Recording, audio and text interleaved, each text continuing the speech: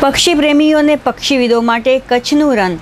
વન્ય પ્રાણી અભયારણ્ય હાલમાં મહત્વનું આકર્ષણનું સ્થળ બની રહ્યું છે. કચ્છના મોટા રણના ખડીર વિસ્તારમાં ફ્લેમિંગો, લેઝર અને ગ્રેટર ફ્લેમિંગો તેમજ જળચર પક્ષીઓનું આગમન પ્રવાસીઓ માટે આકર્ષણનું કેન્દ્ર બની રહ્યું છે. આ ઉપરાંત વન્ય પ્રાણી અભયારણ્ય ફોટોગ્રાફરો માટે પણ મહત્વનો પોઈન્ટ બની રહ્યું છે.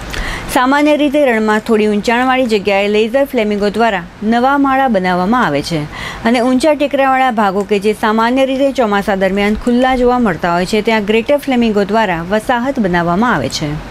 ત્યારે વન વિભાગના નિરીક્ષણ અને અભ્યાસના આધારે ગત વર્ષે જૂની બ્રીડિંગ સાઇટથી નજીકના વિસ્તારમાં આર્ટિફિશિયલ બ્રીડિંગ પ્લેટફોર્મ બનાવવામાં આવ્યા હતા, જેને પગલે ચાલુ વર્ષે સારો વરસાદ થયો હોવાને કારણે શિયાળા પહેલાં લગભગ બાર હજાર જેટલા ફ્લેમિંગોનું આગમન થઈ ચૂક્યું છે.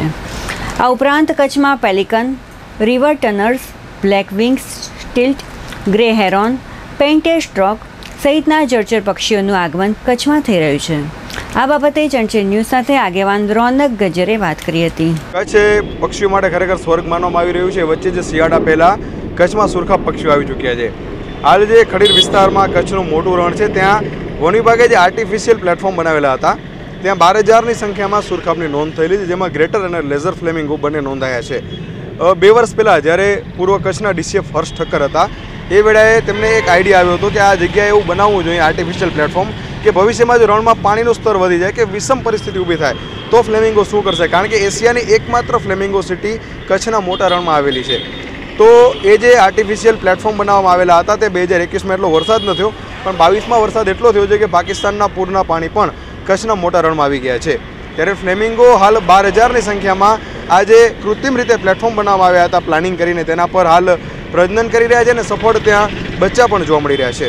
બીજી વાત કરવામાં આવે તો ખાવડા નજીક પશ્ચિમમાં ફ્લેમિંગો સિટી આવેલી છે, જ્યાં હજારો અને લાખોની સંખ્યામાં સુરખાબ દર વર્ષે આવે છે. લેઝર અને ગ્રેટર ફ્લેમિંગો ત્યાં પણ સુરખાબની હાજરી નોંધાશે ચોક્કસથી, કારણ કે ખડીર એ ફ્લેમિંગોનો એન્ટ્રી પોઈન્ટ છે, જે શિયાળો ગાળવા માટે કચ્છમાં આવતા હોય છે.